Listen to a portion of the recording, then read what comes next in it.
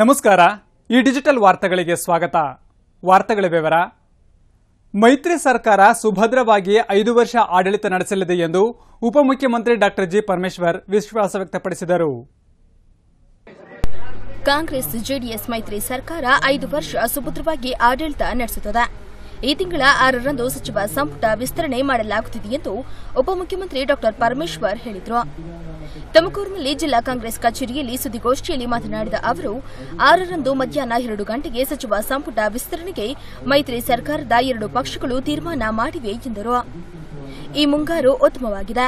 ಎಲ್ಲೆಡೆ ಒಳ್ಳೆ ಮಳೆಯಾಗಿ ರೈತರು ಬಿತ್ತನೆ ಆರಂಭಿಸುತ್ತಿದ್ದಾರೆ. ರೈತರಿಗೆ ಅಗತ್ಯವಿರುವ ಬಿತ್ತನೆ ಬೀಜ, ಗೊಬ್ಬರ ಕೊರತೆ ಆಗದಂತೆ ಎಚ್ಚರ ವಹಿಸಲು ಅಧಿಕಾರಿಗಳಿಗೆ ಸೂಚಿಸಲಾಗಿದೆ. ಬೇಡಿಕೆ ಪ್ರಮಾಣದ ಗೊಬ್ಬರ ಬಿತ್ತನೆ ಬೀಜ ದಾಸ್ತಾನಿದೆ ಎಂದು ಹೇಳಿದರು. ಜಿಲ್ಲೆಗೆ ಹೇಮಾವತಿ ನೀರು ಹರಿಸುವ ಸಂಬಂಧ ಜಲಾಶಯದಲ್ಲಿ ಸಂಗ್ರಹವಾಗಿರುವ ನೀರಿನ ಪ್ರಮಾಣ ಪರಿಶೀಲಿಸಿ ಕ್ರಮ ತೆಗೆದುಕೊಳ್ಳಲಾಗುತ್ತದೆ.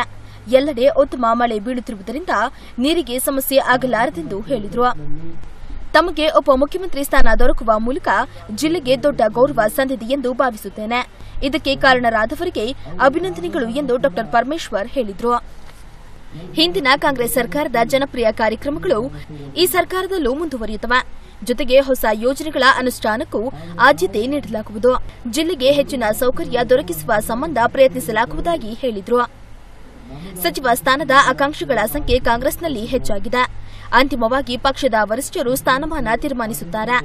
ಶಾಸಕ ಡಿಕೆ ಶಿವಕುಮಾರ್ ಅಸಮಾಧಾನಗೊಂಡಿಲ್ಲ ಅವರು ಪಕ್ಷದ ಶಿಸ್ತಿನ ಸಿಪಾಯಿ. ಪಕ್ಷ ವಹಿಸುವ ಜವಾಬ್ದಾರಿಯನ್ನ ಸಮರ್ಪಕವಾಗಿ ನಿರ್ವಹಿಸುತ್ತಾರೆ ಎಂದರು.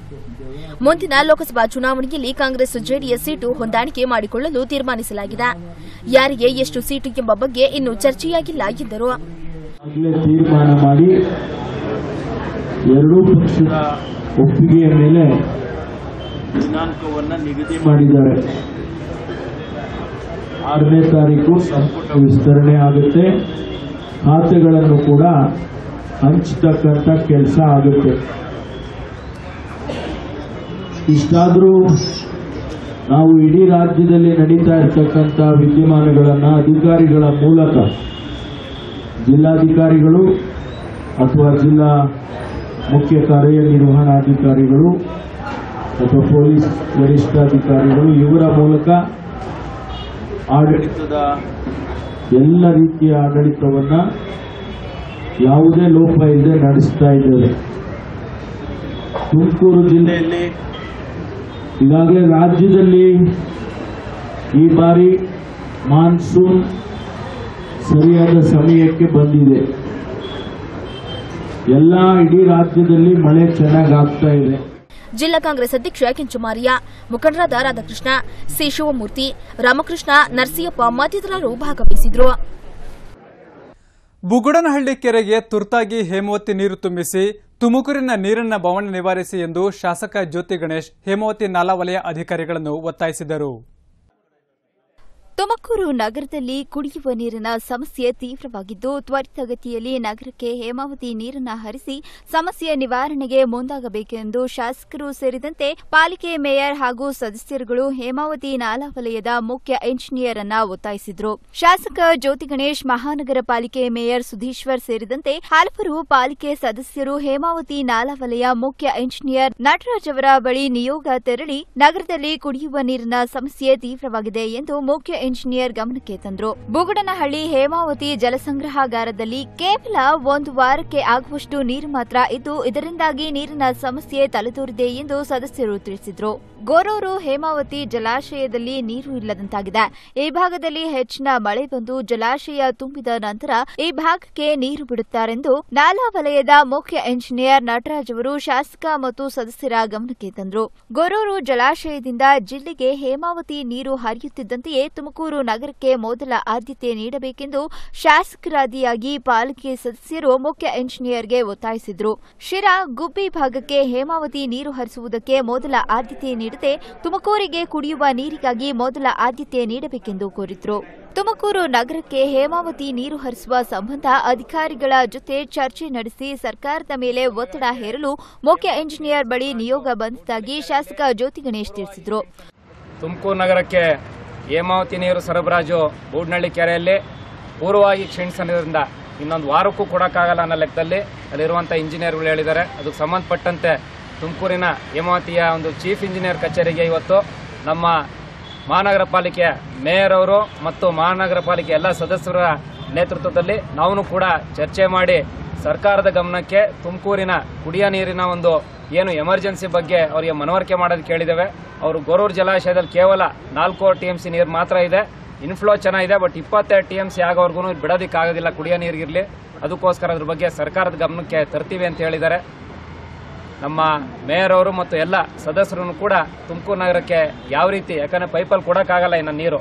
ಟ್ಯಾಂಕ್ ಮುಖಾಂತರ ನೀರು ಕೊಡಬೇಕು ಅಂತೇಳಿ ಅವರು ಡಿಸ್ಕಸ್ ಮಾಡ್ತಿದ್ದಾರೆ ಅದ್ರ ಬಗ್ಗೆ ಮುಂದಿನ ಒಂದು ಏನು ಗಮನ ಹರಿಸ್ಬೇಕು ಅದನ್ನ ಹರಿಸ್ತಾರೆ. ತುಮಕೂರು ನಗರದಲ್ಲಿ ಹೇಮಾವತಿ ನೀರು ಹರಿಸಿ ಸಮಸ್ಯೆ ನಿವಾರಣೆ ಮಾಡಬೇಕೆಂದು ಕೋರಿದ್ದಾಗಿ ಮೇಯರ್ ಸುಧೀಶ್ವರ್ ಹೇಳಿದರು. ಆರೇಳು ದಿನ ಬರುತ್ತೆ. ಇದ್ರ ಪೂರ್ವಭಾವಿಯಾಗಿ ನಾವು ಹೇಮಾವತಿ ಅಧಿಕಾರಿಗಳ ನೋಡಲು ನಮ್ಮ ಶಾಸಕರಾದಂಥ ಜ್ಯೋತಿ ಗಣೇಶ್ ಅವ್ರ ಜೊತೆ ಮತ್ತು ನಮ್ಮ ಸದಸ್ಯರೆಲ್ಲರೂ ಜೊತೆ ಇಲ್ಲಿ ಬಂದು ನಾವು ಅದ್ರ ಬಗ್ಗೆ ವಿಶ್ಲೇಷಣೆ ಮತ್ತು ಚರ್ಚೆಗಳನ್ನ ಮಾಡಿ ಪ್ರಪ್ರಥಮವಾಗಿ ಅಲ್ಲೇನಾದ್ರು ಡ್ಯಾಮ್ಗೆ ನೀರು ತುಂಬಿದಂಥ ಸಂದರ್ಭದಲ್ಲಿ ನಮಗೆ ಪಿ ಆರ್ ಟಿ ಕೊಡಿ ಫಸ್ಟಾಗಿ ನಮಗೆ ಕೊಡಿ ಫುಲ್ ಫಿಲ್ ಮಾಡಿಕೊಡಿ, ನಮ್ದೇನು ನಮ್ಗೆ ಕೊಡಬೇಕು ನೀರನ್ನ ಕೊಡಿ ಅಂತ ಅವ್ರಿಗೆ ಮನವಿ ಮಾಡಿಕೊಂಡು ಅವ್ರಿಗೆ ಚರ್ಚೆ ಮಾಡಿ, ಆ, ಮಾತಾಡೋದಕ್ಕೋಸ್ಕರ ನಾವೆಲ್ಲರೂ ನಿಮಗೆ ನಿಯೋಗ ಬಂದಿದ್ದೀವಿ.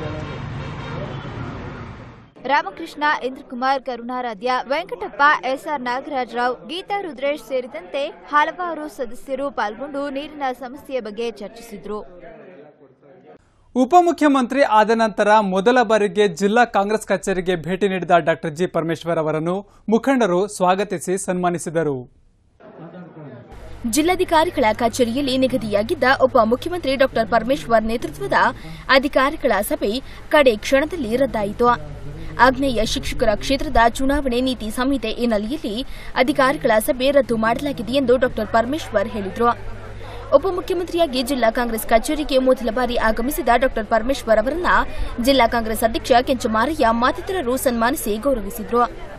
ಜಿಲ್ಲೆಯ ಹನ್ನೊಂದು ಕ್ಷೇತ್ರಗಳಲ್ಲಿ ಮೂರರಲ್ಲಿ ಕಾಂಗ್ರೆಸ್ ಗೆಲುವು ಪಡೆದಿದೆ. ಉಳಿದ ಕ್ಷೇತ್ರದಲ್ಲಿ ಕಾಂಗ್ರೆಸ್ ಅಭ್ಯರ್ಥಿಗಳು ಹೆಚ್ಚಿನ ಮತ ಪಡೆದಿದ್ದರು. ಪಕ್ಷಕ್ಕೆ ಮತ ನೀಡಿ ನೆರವಾದ ಮತದಾರರಿಗೆ ಶ್ರಮಿಸಿದ ಪಕ್ಷದ ಕಾರ್ಯಕರ್ತರಿಗೆ ಡಾಕ್ಟರ್ ಪರಮೇಶ್ವರ್ ಅಭಿನಂದನೆ ಸಲ್ಲಿಸಿದರು. ಅವರ ಜೊತೆಯಲ್ಲಿ ಮಾತನಾಡಬೇಕು ಅಂತ ಹೇಳಿ ಅಧಿಕೃತವಾಗಿ ನಾನು ಬಂದೆ. ಪಕ್ಷದ ಅಧ್ಯಕ್ಷರಾಗಿ ಪಕ್ಷದ ಕಚೇರಿಗೆ ಭೇಟಿ ಕೊಡ್ತಕ್ಕಂಥದ್ದು ನಮ್ಮ ಸಂಪ್ರದಾಯ. ಹಾಗಾಗಿ ಇವತ್ತು ಕಾಂಗ್ರೆಸ್ ಪಕ್ಷದ ಕಚೇರಿಗೆ ಭೇಟಿ ಕೊಟ್ಟಿದ್ದೇನೆ. ನಮ್ಮ ಈ ಭಾಗದಲ್ಲಿ ತುಮಕೂರು ಜಿಲ್ಲೆಯಲ್ಲಿ ಹನ್ನೊಂದು ಕ್ಷೇತ್ರಗಳಲ್ಲಿ, ಮೂರು ಕ್ಷೇತ್ರಗಳಲ್ಲಿ ಕಾಂಗ್ರೆಸ್ ಪಕ್ಷ ಗೆದ್ದಿದೆ. ಆದರೆ ಹನ್ನೊಂದು ಕ್ಷೇತ್ರದಲ್ಲಿ ಮತದಾರರು ಕಾಂಗ್ರೆಸ್ ಪಕ್ಷಕ್ಕೆ ಬೆಂಬಲವನ್ನು ಕೊಟ್ಟಿದ್ದಾರೆ. ಅವರಿಗೆ ನಾನು ಪಕ್ಷದ ಅಧ್ಯಕ್ಷನಾಗಿ ಅಭಿನಂದನೆ. ಸಲ್ಲಿಸೋದಕ್ಕೆ ಬಯಸ್ತೇನೆ. ಮಾಜಿ ಶಾಸಕ ಸುರೇಶ್ ಗೌಡ ಒಬ್ಬ ಹುಚ್ಚ. ಜೆಡಿಎಸ್ ಕಾರ್ಯಕರ್ತರ ಬಗ್ಗೆ ಸುಳ್ಳು ಆರೋಪ ಮಾಡುವುದನ್ನು ಬಿಡಲಿ ಎಂದು ತುಮಕೂರಿನಲ್ಲಿ ಮಾಜಿ ಸಚಿವ ಚೆನ್ನಿಗಪ್ಪ ಹರಿಹಾಯ್ದಿದ್ದಾರೆ.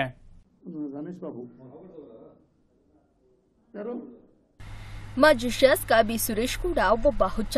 ಬಾಸ್ಟರ್ಡ್ ಜೆಡಿಎಸ್ ಕಾರ್ಯಕರ್ತರು ಹಲ್ಲೆ ಮಾಡಿದರೆ ಎಂದು ಸುಳ್ಳು ಹೇಳುವುದು ಬಿಡಲಿ.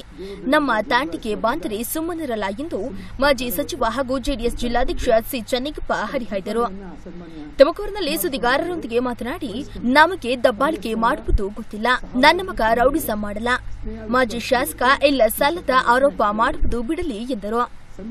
ಬೆಂಗಳೂರು ವಿವಿಯಲ್ಲಿ ಮಾಸ್ಕಡ್ ಹಗರಣ ಮಾಡಿರುವುದು ಯಾರು ಅಂತ ಜಗತ್ತಿಗೆ ಗೊತ್ತಿದೆ. ಸುಮ್ಮನೆ ಜೆಡಿಎಸ್ ಮೇಲೆ ಮತ್ತು ಗೌರಿಶಂಕರ್ ವಿರುದ್ಧ ಅಪಪ್ರಚಾರಕ್ಕೆ ಇಳಿದಿದ್ದಾರೆ. ಇವರೊಬ್ಬ ಹುಚ್ಚ ಎಂಬುದನ್ನ ಇವರ ಸ್ನೇಹಿತರೇ ಹೇಳುತ್ತಾರೆ ಎಂದು ಸುರೇಶ್ ಗೌಡರ ವಿರುದ್ಧ ಕಿಡಿಕಾದರು. ಗ್ರಾಮಾಂತರ ಕ್ಷೇತ್ರದಲ್ಲಿ ನನ್ನ ಮಗ ಗೆದ್ದಿರುವುದು ಮತದಾರರ ಆಶೀರ್ವಾದದಿಂದ. ಅಲ್ಲಿ ಯಾವುದೇ ಅಭಿವೃದ್ಧಿ ಕೆಲಸ ಮಾಡಿದ ಸುರೇಶ್ ಗೌಡರನ್ನ ಮತದಾರರು ಮನೆಗೆ ಕಳಿಸಿದ್ದಾರೆ. ಮತದಾರರ ತೀರ್ಪಿಗೆ ತಲೆಬಾಗಿ ಸುಮ್ಮನಿರಬೇಕು. ಅದು ಬಿಟ್ಟು ಸುಮ್ಮನೆ ಸುಳ್ಳು ಆರೋಪ ಮಾಡುವುದರಲ್ಲಿ ಅರ್ಥವಿಲ್ಲ ಎಂದು ಹೇಳಿದರು. ತುಮಕೂರು ಗ್ರಾಮಾಂತರ ಕ್ಷೇತ್ರದ ಅಭಿವೃದ್ಧಿ ನಮ್ಮ ಆದ್ಯತೆಯಾಗಿದೆ. ಇಲ್ಲಿ ನೀರಾವರಿ ಸೌಲಭ್ಯ ಕಲ್ಪಿಸಲಾಗುವುದು. ರೈತರಿಗೆ ಅಗತ್ಯ ಸೌಲಭ್ಯ, ನೆರವು ನೀಡಲು ಎಲ್ಲಾ ರೀತಿಯ ಕ್ರಮ ಕೈಗೊಳ್ಳಲಾಗುವುದೆಂದು ಹೇಳಿದರು. ಸಂವಿಧಾನ ಬದಲಿಸುತ್ತೇನೆ ಎಂದು ಹೇಳುವ ಕೇಂದ್ರ ಸಚಿವ ಅನಂತಕುಮಾರ್ ಹೆಗಡೆ ಕೂಡ ಸುರೇಶ್ ಗೌಡರಂತೆ ಒಬ್ಬ ಹುಚ್ಚ. ಸಂವಿಧಾನ ನಮ್ಮಪ್ಪ ಅವರಪ್ಪ, ಯಾರಪ್ಪನ ಆಸ್ತಿಯಲ್ಲ ಅದು ದೇಶದ ಆಸ್ತಿ.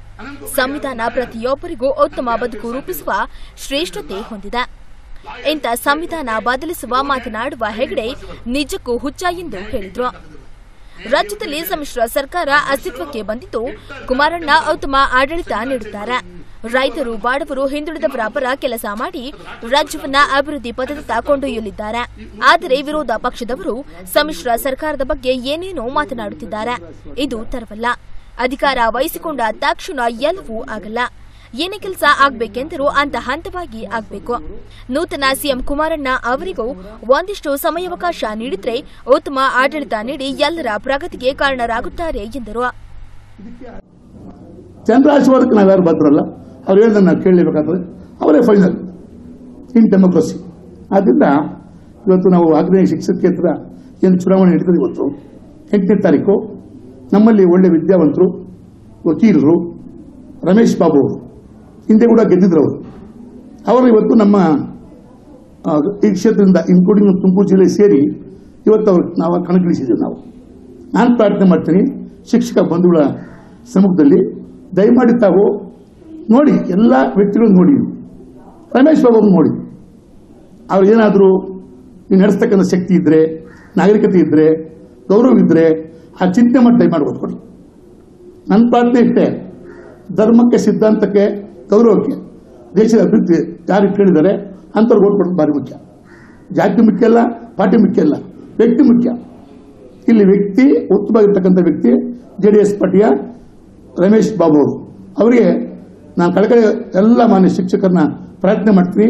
ಕೈ ಮುದ್ದು ಕೇಳ್ಕೊಂತೀನಿ. ದಯಮಾಡಿ ನೀವು ನಿಮಗೆ ಈ ರಮೇಶ್ ಅವರು ಓದ್ಕೊಡ್ಬೇಕು ಅಂತ ಹೇಳಿ ಕೇಳ್ಕೊಂಡು.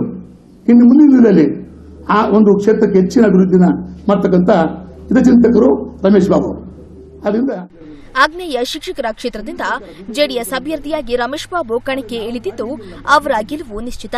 ಶಿಕ್ಷಕ ಮತದಾರರು ಉತ್ತಮವಾಗಿ ಕೆಲಸ ಮಾಡುವ ಅಭ್ಯರ್ಥಿಗೆ ಮತ ನೀಡಲಿದ್ದಾರೆ. ಅದೇ ರೀತಿ ನಮ್ಮ ಪಕ್ಷದ ಅಭ್ಯರ್ಥಿಗೆ ವೋಟು ಹಾಕಿ ಗೆಲ್ಲಿಸಲಿದ್ದಾರೆ ಎಂದು ಚೆನ್ನಿಗಪ್ಪ ವಿಶ್ವಾಸ ವ್ಯಕ್ತಪಡಿಸಿದರು. ಯಾರೋ? ಸುರೇಶ್ ಗೌಡ ಸಾಹೇಬ್. ಅವ್ರನ್ನ ಮೆಂಟಲ್ ಸುರೇಶ್ ಅಂತ ಕರೀತಾರೆ. ನನ್ನ ಸ್ನೇಹಿತರು ಬಂದ್ರು ಕ್ಲಾಸ್ಮೇಟ್ ಏನ್ ಸರ್ ಅಂದ್ರೆ ಸರ್ ಅವ್ನು ಮೆಂಟಲ್ ಸುರೇಶ್ ಹೆಸರು ಕೇಳಿದ ನಾವು. ಯೂನಿವರ್ಸಿಟಿಲಿ ಒಂದು ಮೆಂಟಲ್ ಅಂದರು. ಆ ಸುರೇಶ್ ಗೌಡ್ನಂಥ ದಬ್ಬಳಕೆ ನಾನು ಮಾಡಿಲ್ಲ. ನಮಗೆಲ್ಲ ಗೊತ್ತಿರೋ ವಿಚಾರ. ರಾಜ್ಯಕ್ಕೆ ಗೊತ್ತು. ಯಾವತ್ತೂ ನಾವು ಇಷ್ಟು ವರ್ಷ ರಾಜಕಾರಣದಿದ್ದೆ ನಾನು. ಒಂದೇ ಒಂದು ಪೊಲೀಸ್ ಕೇಸ್ ಹಾಕ್ಸಿಲ್ಲ. ಅವ್ನು ಹೇಳಿ ಸುರೇಶ್ ಗೌಡ ಅಂದ್ರೆ ಅವ್ರು ಎಂದು ಕೇಸ್ ಓ ಹೋಗಿ ಕೊಡಗೇರಿಗೆ ಹೋಗಲ್ಲ ಅಂತೇಳಿ ಅವನಿಗೆ. ಅಲ್ಲೋ ಕೇಳಲ್ಲ ಅಂತೇಳಿ. ಇವನು ಬರಲಿ, ನಾನು ಬರ್ತೀನಿ ಗ್ರಾಮಾಂತರಕ್ಕೆ ಎಷ್ಟು ಜನ ಕೇಸ್ ಹಾಕ್ಸಾನೆ ಎಷ್ಟು ಲಂಚ ಹೊಡೆದವನೆ? ಎಷ್ಟು ಒಡ್ಸಾಡವನೆ? ಒಂದು ಬೆಲ್ಲ ಒಡ್ಸಾಡವನು ಅಧಿಕಾರಿ ನಡೆದಾಡವನೆ. ಇಂಥ ಮುಟ್ಟಾಳ ಕೆಲಸ ಮಾಡಬೇಡ ಅಂತೇಳಿ ಅವನಿಗೆ. ಅಡಿ ಅಲ್ಲ ಗ್ರಾಮದ ಜನರು ದೇವರು ನಮಗೆ ಓಟ್ ಕೊಟ್ಟವ್ರೆ ಅವ್ರ ಪಾಸ್ ಸೇವೆ ಮಾಡ್ತೀವಿ ನಾವು. ನೀನಾವ ಹೇಳಕ್ಕೆ ಏಯ್ ಹುಷಾರ್. ನಿನ್ನ ಆಟಕ್ಕೆ ನಡೆಯೋದಲ್ಲ ಅದು. ಗೌರವ ಜನ ದೇವರು ಜನರು. ಹತಾಶ ಒಂದೇ ಅಲ್ಲ ಅವನಿಗೆ. ಅವ್ನು ಮೆಂಟಲ್ ಹೇಳ್ತಾರಲ್ಲ ದೇವನಹಳ್ಳಿ ತಾಲೂಕು ನಾರಾಯಣಪುರದಲ್ಲಿ ಸಿಡಿಲು ಬಡಿದು ಮಹಿಳೆ ಮೃತಪಟ್ಟಿದ್ದು ಜಿಲ್ಲಾಡಳಿತ ಮೃತರ ಕುಟುಂಬಕ್ಕೆ ಐದು ಲಕ್ಷ ರೂಪಾಯಿ ಪರಿಹಾರ ಘೋಷಿಸಿದೆ. ದೇವನಹಳ್ಳಿ ತಾಲೂಕಿನ ನಾರಾಯಣಪುರ ಗ್ರಾಮದಲ್ಲಿ ಸಿಡಿಲು ಬಡಿದು ಮಹಿಳೆ ಸಾವನ್ನಪ್ಪಿದ್ದು, ಸರ್ಕಾರದಿಂದ ಐದು ಲಕ್ಷ ರೂಪಾಯಿ ಪರಿಹಾರವನ್ನ ಬೆಂಗಳೂರು ಗ್ರಾಮಾಂತರ ಜಿಲ್ಲೆಯ ಜಿಲ್ಲಾಧಿಕಾರಿ ಪಾಲಯ್ಯ ಘೋಷಿಸಿದ್ದಾರೆ. ನಾರಾಯಣಪುರ ಗ್ರಾಮದ ನಿವಾಸಿ ವೆಂಕಟೇಶಪ್ಪ ಅವರ ಹೆಂಡತಿ ಗೌರಮ್ಮ ತೋಟಕ್ಕೆ ಹಸುಗಳನ್ನು ಮೇಯಿಸಲು ಹೋಗಿದ್ರು. ಈ ವೇಳೆ ಮಳೆ ಬರಲಾರಂಭಿಸಿದೆ. ತಕ್ಷಣ ಗೌರಮ್ಮ ಹಸುಗಳನ್ನು ಹೊಡೆದುಕೊಂಡು ಮನೆಯತ್ತ ಹೊರಟಿದ್ದಾರೆ. ಮಧ್ಯ ದಾರಿಯಲ್ಲಿ ವಿಪರೀತ ಮಳೆ ಬಂದು ಸಿಡಿಲು ಬಡಿದು ಸಾವನ್ನಪ್ಪಿದ್ದಾರೆ. ಎಷ್ಟು ಹೊತ್ತಾದರೂ ಮನೆಗೆ ಬರೆದ ಗೌರಮ್ಮ ಅವರನ್ನು ಗಂಡ ವೆಂಕಟೇಶಪ್ಪ ಹುಡುಕಿಕೊಂಡು ಬಂದಿದ್ದಾರೆ. ಮಧ್ಯ ದಾರಿಯಲ್ಲಿ ಗೌರಮ್ಮ ಬಿದ್ದಿರುವುದು ಕಂಡಿದೆ. ತಕ್ಷಣ ಗ್ರಾಮಸ್ಥರ ನೆರವಿನಿಂದ ಆಸ್ಪತ್ರೆಗೆ ಸಾಗಿಸಲಾಗಿದೆ. ಅಷ್ಟರಲ್ಲಿ ಗೌರಮ್ಮ ಕೊನೆಯುಸಿರೆಳೆದಿದ್ದಾರೆ ಜಿಲ್ಲಾಧಿಕಾರಿ ಪಾಲಯ್ಯ ಆಸ್ಪತ್ರೆಗೆ ಭೇಟಿ ನೀಡಿ ಮಾತನಾಡಿ, ಸಿಡಿಲು ಹೊಡೆದು ಗೌರಮ್ಮ ಮೃತಪಟ್ಟಿದ್ದು ಪ್ರಕೃತಿ ವಿಕೋಪದ ಅಡಿಯಲ್ಲಿ ಸಾವನ್ನಪ್ಪಿರುವ ಅವರ ಕುಟುಂಬಕ್ಕೆ ಸರ್ಕಾರ ನಾಲ್ಕು ಲಕ್ಷ ರೂಪಾಯಿ ಪರಿಹಾರ ಕೊಡಲಾಗುವುದೆಂದು ತಿಳಿಸಿದರು. ಇವತ್ತು ನಾರಾಯಣಪುರ ಗ್ರಾಮದಲ್ಲಿ ನಿನ್ನೆ ಸಾಯಂಕಾಲ ಸುಮಾರು ಆರು ಮೂವತ್ತು ಸುಮಾರಿಗೆ ಸಿಡ್ಲೊಡೆದು ಗೌರಮ್ಮ ಅನ್ನೋರು ಐವತ್ತೈದು ವರ್ಷದವರು ಮೃತಪಟ್ಟಿರ್ತಾರೆ. ಇವತ್ತು ಇಲ್ಲಿ ಭೇಟಿ ಮಾಡಿದ್ದೀವಿ. ಅದು ಕೆಲಾಮಿಟೀಸಲ್ಲಿ ಆಗಿರೋದ್ರಿಂದ ನಿಯಮಾನುಸಾರ ಅವರಿಗೆ ನಾಲ್ಕು ಲಕ್ಷ ಪರಿಹಾರವನ್ನು ನಮ್ಮ ತಹಸೀಲ್ದಾರ್ ಅವರು ಕೊಡ್ತಾರೆ. ಕಾನೂನಲ್ಲಿ ಅವಕಾಶ ಇದೆ, ಇವತ್ತು ಕೊಡ್ತಾರೆ. ಆಮೇಲೆ ಜೊತೆಗೆ ಇತ್ತೀಚೆಗೆ ಇನ್ನೊಂದು ಕೂಡ ಸಿ ಎಂ ಆಫೀಸಲ್ಲಿ ಒಂದು ಆರ್ಡರ್ ಇಶ್ಯೂ ಮಾಡಿದ್ದಾರೆ. ಈ ಸಿಡ್ಲೊಡ್ದು ಅಥವಾ ಕೆಲೋಮೀಟಿಸಲ್ಲಿ ಅಥವಾ ನೀರಿನಲ್ಲಿ ಕೊಚ್ಕೊಂಡೋಗಿ ಇಂಥ ಏನಾದರೂ ಇನ್ಸಿಡೆಂಟ್ಸ್ ಆದಾಗ ಕೆಲೋಮೀಟಿಸ್ ಒಳಗಡೆ ಒಂದು ಲಕ್ಷ ಸಿ ಎಂ ಆಫೀಸಲ್ಲಿ ಕೊಡ್ಲಿಕ್ಕೆ ಕೂಡ ಪ್ರಾವಿಷನ್ ಇರೋದ್ರಿಂದ ಇದು ನಾಲ್ಕು ಲಕ್ಷ ಮತ್ತು ನಾವೊಂದು ರೆಕಾರ್ಡ್ ಬಿಡಪ್ ಮಾಡಿ ಸಿ ಎಂ ಆಫೀಸ್ ಕಳಿಸ್ತಾರೆ, ಅವರು ಕೂಡ ಒಂದು ಲಕ್ಷ ಕೊಡ್ತಾರೆ. ಕಾನೂನು ಪ್ರಕಾರ ಏನಿದೆ ಎಲ್ಲ ಸೌಲಭ್ಯಗಳನ್ನ ನಾವು ಕೊಡಲಿಕ್ಕೆ ಮಾಡ್ತೀವಿ. ಇವರು ಎಷ್ಟು ಕೊಡ್ತೀರಿ? ನಾಲ್ಕು ಲಕ್ಷ ಪ್ಲಸ್ ನಾವು ನಾಲ್ಕು ಲಕ್ಷ ಕೊಡ್ತೀವಿ. ಸಿ ಎಂ ಆಫೀಸಲ್ಲಿ ಒಂದು ಲಕ್ಷ ಕೊಡ್ತಾರೆ. ನಾವು ರೆಕಾರ್ಡ್ ಬಿಲ್ಡಪ್ ಮಾಡಿ ಹೋದ್ಮೇಲೆ ಅವರೊಂದು ಲಕ್ಷ ಕೊಡ್ತಾರೆ ಒಟ್ಟು ಒಟ್ಟು ಐದು ಲಕ್ಷ ಪರಿಹಾರ ಸಿಗುತ್ತೆ. ರೈತರ ಸಂಪೂರ್ಣ ಸಾಲ ಮನ್ನಾಕ್ಕೆ ಕೇಂದ್ರ ಸರ್ಕಾರ ಸಹಕಾರ ನೀಡಬೇಕು. ರೈತರು ಆರ್ಥಿಕವಾಗಿ ಸದೃಢರಾಗಲು ಪೂರಕ ಯೋಜನೆ ಜಾರಿ ಮಾಡಿ ಕಾನೂನು ರೂಪಿಸಬೇಕು ಎಂದು ಪ್ರಾಂತ ರೈತ ಸಂಘ ರಾಜ್ಯಾಧ್ಯಕ್ಷ ಜೆಸಿ ಬಯ್ಯಾರೆಡ್ಡಿ ಒತ್ತಾಯಿಸಿದರು. ರಾಜ್ಯ ಸರ್ಕಾರ ರೈತರ ಬೆಳೆ ಸಾಲ ಮನ್ನಾ ಮಾಡಲು ಮುಂದಾಗಿದೆ. ಈ ಸ್ಥಿತಿಯಲ್ಲಿ ಕೇಂದ್ರ ಸರ್ಕಾರವು ಸರ್ಕಾರ ನೀಡಿದ ರೈತರ ಉಳಿದೆಲ್ಲ ಸಾಲಮನ್ನಾ ಮಾಡಿ ರೈತರನ್ನ ಸಾಲ ಮುಕ್ತರನ್ನಾಗಿ ಮಾಡಬೇಕು ಎಂದು ಪ್ರಾಂತ ರೈತ ಸಂಘದ ರಾಜ್ಯಾಧ್ಯಕ್ಷ ಬಿಸಿ ಬಾಯಾರೆಡ್ಡಿ ಒತ್ತಾಯಿಸಿದರು. ತುಮಕೂರಿನಲ್ಲಿ ಸುದ್ದಿಗೋಷ್ಠಿಯಲ್ಲಿ ಮಾತನಾಡಿದ ಅವರು, ರೈತರ ಉತ್ಪನ್ನಗಳಿಗೆ ಬೆಂಬಲ ಬೆಲೆ ನಿಗದಿ ಮಾಡಬೇಕು. ರೈತರ ಸಾಲಮನ್ನಾ ಹಾಗೂ ಸಾಲ ನೀಡಿಕೆ ಸಂಬಂಧ ಕೇಂದ್ರ ಸರ್ಕಾರ ಪೂರಕ ತೀರ್ಮಾನ ತೆಗೆದುಕೊಳ್ಳಬೇಕು ಎಂದರು. ಮುಖ್ಯಮಂತ್ರಿ ಕುಮಾರಸ್ವಾಮಿ ಹದಿನೈದು ದಿನಗಳಲ್ಲಿ ರೈತರ ಬೆಳೆ ಸಾಲ ನೀಡುವುದಾಗಿ ಭರವಸೆ ನೀಡಲಾಗಿದೆ. ಮನ್ನಾ ಮಾಡಿದ ಹಣವನ್ನು ಆಯಾ ಸರ್ಕಾರ ಸಂಘಗಳಿಗೆ ನೀಡಿ ಮುಂಗಾರು ಬೆಳೆ ಬೆಳೆಯಲು ರೈತರಿಗೆ ಹೊಸ ಸಾಲ ನೀಡುವ ಸಂಬಂಧ ಸ್ಪಷ್ಟ ತೀರ್ಮಾನ ತೆಗೆದುಕೊಳ್ಳಬೇಕು ಎಂದರು. ರೈತರ ಸಾಲ ಮನ್ನಾದ ಹಣವನ್ನ ಬ್ಯಾಂಕ್ಗಳಿಗೆ ಸರ್ಕಾರ ಹಂತ ಹಂತವಾಗಿ ಜಮೆ ಮಾಡಿದ್ರು. ರೈತರು ಮತ್ತು ಕೃಷಿ ಕಾರ್ಮಿಕರಿಗೆ ಹೊಸ ಸಾಲ ನೀಡುವಲ್ಲಿ ತೊಂದರೆ ಆಗದಂತೆ ಬ್ಯಾಂಕ್ಗಳ ಆಡಳಿತ ಮಂಡಳಿಗಳಿಗೆ ಕಟ್ಟುನಿಟ್ಟಿನ ಸೂಚನೆ ನೀಡಬೇಕು. ಭೂಮಿ, ಮನೆ ಇತ್ಯಾದಿ ಆಸ್ತಿ ಅಡಮಾನ ಮಾಡಿ ಖಾಸಗಿಯವರಿಂದ ಹೆಚ್ಚಿನ ಬಡ್ಡಿಗೆ ಕೃಷಿ ಸಾಲ ಪಡೆಯುವ ಬಡ ರೈತರು ಮತ್ತು ಕೃಷಿ ಕಾರ್ಮಿಕರ ಸಾಲಗಳನ್ನು ಮನ್ನಾ ಮಾಡಲು ಕೇರಳ ಸರ್ಕಾರ ಘೋಷಣೆ ಮಾಡಿರುವ ಋಣಮುಕ್ತ ಕಾಯ್ದೆ ಮಾದರಿಯಲ್ಲಿ ರಾಜ್ಯದಲ್ಲಿ ಕಾನೂನು ರಚಿಸಬೇಕು ಎಂದು ಜಿಸಿ ಬಾಯಾರೆಡ್ಡಿ ಒತ್ತಾಯಿಸಿದರು. ರೈತರ ಸಾಲ ಮನ್ನಾ ಮಾಡುವ ಸಂದರ್ಭದಲ್ಲಿ ಕೃಷಿ ಹೆಸರಿನಲ್ಲಿ ದೊಡ್ಡ ಪ್ರಮಾಣದ ಸಾಲ ತೆಗೆದುಕೊಂಡವರು ದೊಡ್ಡ ವ್ಯಾಪಾರಸ್ಥರು.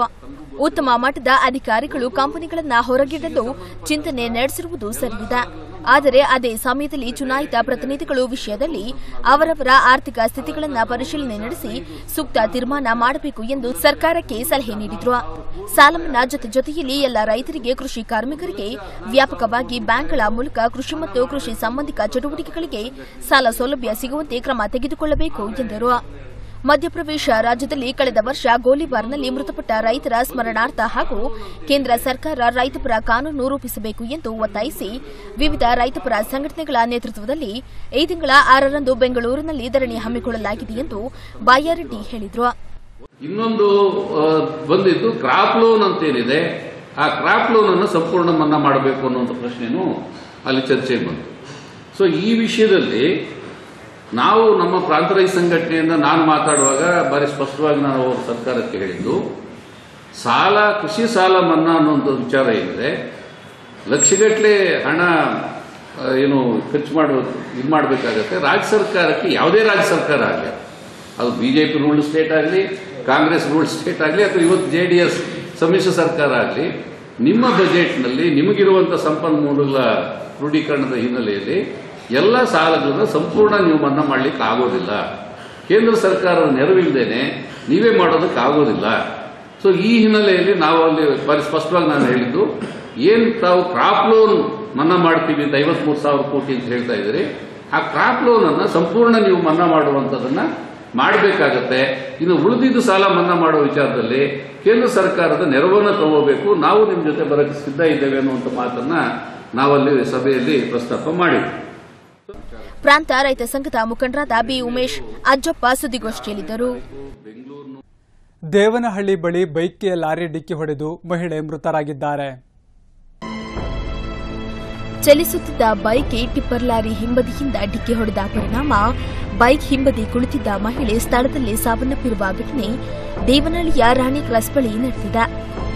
ಚಿಕ್ಕಬಳ್ಳಾಪುರದಿಂದ ಬೆಂಗಳೂರಿನತ್ತ ಹೊರಟಿದ್ದ ವೇಳೆ ರಾಣಿ ಕ್ರಾಸ್ ಬಳಿ ನಂದಿ ಬೆಟ್ಟದ ಕಡೆಯಿಂದ ಬಂದ ಟಿಪ್ಪರ್ ಲಾರಿ ಬೈಕಿಗೆ ಡಿಕ್ಕಿ ಹೊಡೆದ ಪರಿಣಾಮ ಹಿಂಬದಿಯಲ್ಲಿ ಕುಳಿತಿದ್ದ ಲಲಿತಾ ಸ್ಥಳದಲ್ಲಿ ಸಾವನ್ನಪ್ಪಿದ್ದಾರೆ.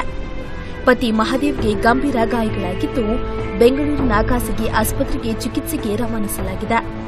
ಈ ಸಂದರ್ಭದಲ್ಲಿ ಸ್ಥಳಕ್ಕೆ ದೇವನಹಳ್ಳಿ ಟ್ರಾಫಿಕ್ ಪೊಲೀಸರು ಭೇಟಿ ನೀಡಿ ಪರಿಶೀಲನೆ ನಡೆಸಿ ಟಿಪ್ಪರ್ ಲಾರಿ ಹಾಗೂ ಚಾಲಕನನ್ನ ವಶಕ್ಕೆ ಪಡೆದು ಪ್ರಕರಣ ದಾಖಲಿಸಿಕೊಂಡಿದ್ದಾರೆ. ಅಸಮರ್ಪಕ ವಿದ್ಯುತ್ ಸರಬರಾಜನ್ನು ಖಂಡಿಸಿ ಶ್ರೀನಿವಾಸಪುರ ಬೆಸ್ಕಾಂ ಕಚೇರಿಯ ಮುಂದೆ ರೈತರು ಪ್ರತಿಭಟನೆ ನಡೆಸಿದರು. ಶ್ರೀನಿವಾಸಪುರದಲ್ಲಿ ಟೈಲರ್, ಕಾರ್ಮಿಕರ ಸಂಘ ಹಾಗೂ ಕರ್ನಾಟಕ ಪ್ರಾಂತ ರೈತ ಸಂಘದಿಂದ ಸಮರ್ಪಕ ವಿದ್ಯುತ್ ಪೂರೈಕೆಗಾಗಿ ಒತ್ತಾಯಿಸಿ ಬೆಸ್ಕಾಂನ ಸಹಾಯಕ ಕಾರ್ಯನಿರ್ವಾಹಕ, ಇಂಜಿನಿಯರ್ ಕಚೇರಿ ಎದುರು ಪ್ರತಿಭಟನೆ ನಡೆಸಿದರು. ಕರ್ನಾಟಕ ಪ್ರಾಂತ ರೈತ ಸಂಘದ ಅಧ್ಯಕ್ಷರಾದ ಸೂರ್ಯ ನಾರಾಯಣರವರು ಮಾತನಾಡಿ, ಸುಮಾರು ಹದಿನೈದು ದಿನಗಳಿಂದ ಸಮರ್ಪಕವಾಗಿ ವಿದ್ಯುತ್ ಪೂರೈಕೆ ಆಗುತ್ತಿಲ್ಲ ಮತ್ತು ಬೆಸ್ಕಾಂ ಅಧಿಕಾರಿಗಳು ಸಾರ್ವಜನಿಕರ ಕರೆಗಳನ್ನು ಸ್ವೀಕರಿಸುವುದರಲ್ಲಿ ನಿರ್ಲಕ್ಷ್ಯತೆಯನ್ನ ತೋರುತ್ತಿದ್ದಾರೆ ಎಂದು ಟೀಕಿಸಿದರು. ಒಂದು ದಿವಸದಲ್ಲಿ ಸುಮಾರು ಮೂವತ್ತರಿಂದ ನಲವತ್ತು ಬಾರಿ ವಿದ್ಯುತ್ ಹೋಗಿ ಬರುವಂತಹ ಅವ್ಯವಸ್ಥೆಯನ್ನ ಕಲ್ಪಿಸುತ್ತಿರುವ ಅಧಿಕಾರಿಗಳ ವಿರುದ್ಧ ಆಕ್ರೋಶವನ್ನ ವ್ಯಕ್ತಪಡಿಸಿದರು. ಹದಿನೈದು ದಿವಸಗಳಿಂದ ಸಮರ್ಪಕವಾಗಿ ವಿದ್ಯುತ್ ಪೂರೈಕೆ ಆಗ್ತಾ ಇಲ್ಲ. ಬೆಸ್ಕಾಂ ಅಧಿಕಾರಿಗಳಿಗೆ ಸಾಮಾನ್ಯ ಜನ ವಿದ್ಯುತ್ ಸಮಸ್ಯೆ ಬಗ್ಗೆ ಫೋನ್ ಮಾಡಿದ್ರೆ ಅದರ ವಿಚಾರದಲ್ಲಿ ನಿರ್ಲಕ್ಷ್ಯನ ತೋರ್ತಾ ಇದ್ದಾರೆ. ಒಂದು ದಿನಕ್ಕೆ ಕನಿಷ್ಠ ಮೂವತ್ತರಿಂದ ನಲವತ್ತು ಮೂವತ್ತರಿಂದ ನಲವತ್ತು ಸಲ ಹೋಗಿ ಬರತಕ್ಕಂತ ಒಂದು ವ್ಯವಸ್ಥೆ ಇವತ್ತು ಶ್ರೀನಿವಾಸಪುರದಲ್ಲಿ ವಿದ್ಯುತ್ ಸಮಸ್ಯೆ ಅಷ್ಟೊಂದು ತೀವ್ರವಾಗಿ ಬೆಳೆದಿದೆ. ಇದನ್ನ ಖಂಡಿಸಿ ಇವತ್ತು ಟೈಲರ್, ನೌಕರರ ಸಂಘ ಮತ್ತು ಕರ್ನಾಟಕ ಪ್ರಾಂತ ರೈತ ಸಂಘ ಎರಡು ಸಂಘಟನೆಗಳು ಜಂಟಿಯಾಗಿ ಇವತ್ತು ಸಾಂಕೇತಿಕವಾಗಿ ಹೋರಾಟವನ್ನು ಮಾಡಿದ್ದೇವೆ. ಈ ಹೋರಾಟದ ಸಂದರ್ಭದಲ್ಲಿ ಬೆಸ್ಕಾಂನ ಎಡಬ್ಲ್ಯೂ ಅಧಿಕಾರಿಗಳು ಫೋನ್ ಕಾಲ್ ಮುಖಾಂತರ ಮಾತಾಡಿ ನಾಲ್ಕು ದಿನಗಳಲ್ಲಿ ಸಮಸ್ಯೆ ಬಗೆಹರಿಸದಿದ್ದ ಪಕ್ಷದಲ್ಲಿ ಟೈಲರ್ ಕಾರ್ಮಿಕರ ಸಂಘ ಹಾಗೂ ಕರ್ನಾಟಕ ಪ್ರಾಂತ ಸಂಘದಿಂದ ತೀವ್ರವಾದ ಪ್ರತಿಭಟನೆಯನ್ನ ಮಾಡುವುದಾಗಿ ಎಚ್ಚರಿಸಿದರು. ಎಸ್ಎಸ್ಎಲ್ಸಿ ಉತ್ತರ ಪತ್ರಿಕೆ ಮೌಲ್ಯಮಾಪನದ ಲೋಪದಿಂದ ವಿದ್ಯಾರ್ಥಿಗಳಿಗೆ ಅನ್ಯಾಯ ಆಗುತ್ತಿದೆ ಎಂದು ದೇವನಹಳ್ಳಿ ಎಸ್ಎಲ್ಎಸ್ ಶಾಲಾ ಆಡಳಿತ ವರ್ಗ ಆಪಾದಿಸಿದೆ. ಪ್ರತಿ ವರ್ಷದಂತೆ ಎಸ್ಎಸ್ಎಲ್ಸಿ ಮೌಲ್ಯಮಾಪನದಲ್ಲಿ ಕಳಪೆಯಾಗುತ್ತಿದ್ದು, ಶಿಕ್ಷಕರು ಬೇಜವಾಬ್ದಾರಿ ತೋರಿಸುತ್ತಿರುವುದು ಈ ವರ್ಷವೂ ಸಾಬೀತಾಗಿದೆ ಎಂದು ಎಸ್ಎಲ್ಎಸ್ ಶಾಲೆಯ ಕಾರ್ಯದರ್ಶಿ ಡಾ ಎಸ್ ಧನಾಂಜಯ್ ತಿಳಿಸಿದರು. ದೇವನಹಳ್ಳಿಯಲ್ಲಿ ಸುದ್ದಿಗೋಷ್ಠಿಯಲ್ಲಿ ಮಾತನಾಡಿ, ನಮ್ಮ ಶಾಲೆಯ ನಾಲ್ಕು ವಿದ್ಯಾರ್ಥಿಗಳು ಈ ಬಾರಿಯ ಎಸ್ಎಸ್ಎಲ್ಸಿ ಪರೀಕ್ಷೆ ಬರೆದಿದ್ದು, ಫಲಿತಾಂಶದಲ್ಲಿ ನಿರೀಕ್ಷಿತ ಅಂಕ ಬಾರದೇ ಇರುವುದರಿಂದ ಮನನೊಂದು ವಿದ್ಯಾರ್ಥಿಗಳು ಪೋಷಕರಲ್ಲಿ ಮೊರೆ ಹೋಗಿ ಮರು ಮೌಲ್ಯಮಾಪನ ಮಾಡುವಂತೆ ಆಗ್ರಹಿಸುತ್ತಾರೆ. ಇದರಂತೆ ಮರು ಮೌಲ್ಯಮಾಪನಕ್ಕೆ ಹಾಕಿದ್ದಾಗ ಮಕ್ಕಳು ಸುಮಾರು ಹದಿನಾರು ಅಂಕ ಏರುಪೇರಿನಲ್ಲಿ ಅತ್ಯುತ್ತಮ ಅಂಕ ಗಳಿಸಿರುವುದು ಖಚಿತವಾಗಿರುತ್ತದೆ.